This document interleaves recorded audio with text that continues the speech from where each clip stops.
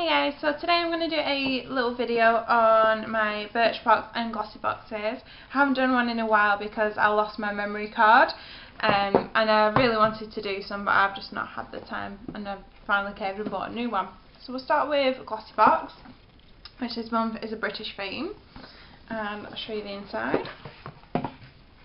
Lovely little paper and here is what's inside this month's box. So the first thing we'll start with are the Eyelure pre-glued lashes and I am actually wearing them right now. I do really love them but the only thing I'd say about these is that Pound World have really stepped up the game with makeup lately and they have been doing Eyelure Miss Eyelashes and the Natural Light so for me it kind of feels like they've devalued a little bit because I can get them for a pound fair enough they're not the same ones the pre-glued ones but saying that I did have to use my own glue on them but they're very similar. Um, but I still love them and they were worth it. They were a nice little item in my box. The next item I got was a Stay Blushed by Rimmel. That's a cheek cheek tint. It's a nice dark peachy kind of colour. I've got that absolutely everywhere. And that's nice but that is on offer as Asda £3 at the moment so again feels like another cheapish little item um, next item I got is Toni & Guy Shine Gloss Serum. Really pleased with that one because it's a nice brand, it's a nice product. I haven't tried it yet but I will be doing soon. Uh, fourth item I got was an Elizabeth Arden 5ml perfume and it's a nice size, um, very great for your bag. It's a very cute and it smells very classic and quite universally okay. It's not like got any of them fragrances that hit and miss in them. And it comes with lovely packaging. So that one was a, a good one. Next item was Via Bombshell Onyx Eyeliner.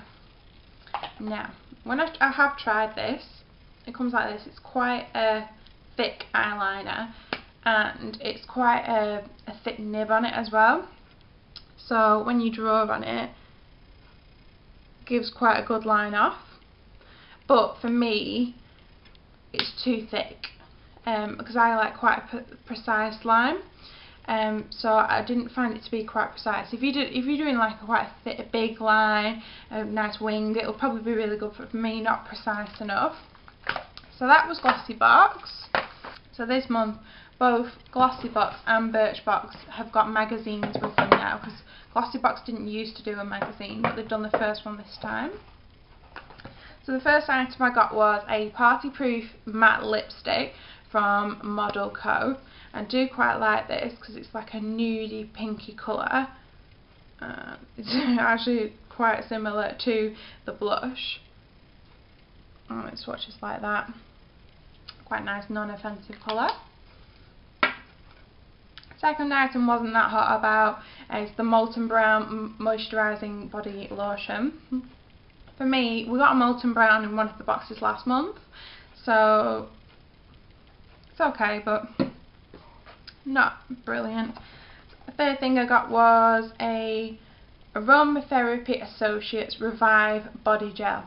Now for me, the fact that you've got a body lotion and a body gel, two of the same kind of thing in the month, so wasn't a winner. I would prefer to have just got this one, but I'm, I'm still happy with my box.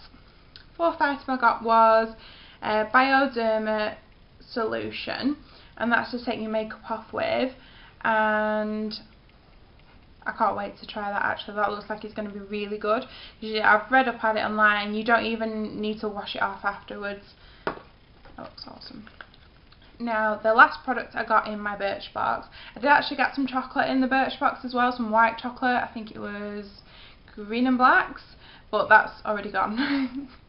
so this last product is the Reverence de Bastien Nail Lacquer. I don't know whether these came in other colours. Um, I had a look on Birchbox's website and I could only see this one colour, which is a nice pinky colour, but for me, I feel like the packaging is a little bit cheap, like it you know, looks like 15 years old or something. But, you know, I'll, I'll try it, it's probably good. Um, note as well that my Birchbox came quite late this month. Um, I think it was because I fill in the glossy dots and this month it was my free box and I think I was at the bottom of the pile because mine was free.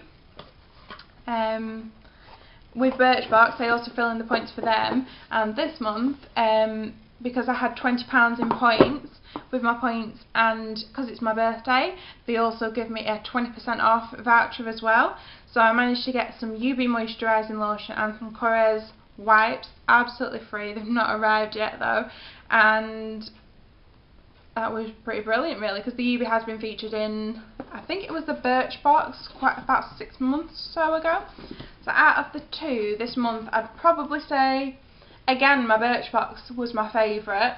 Um, it's not always my favourite as it has been in some of my other videos but just just worked out this month that it has.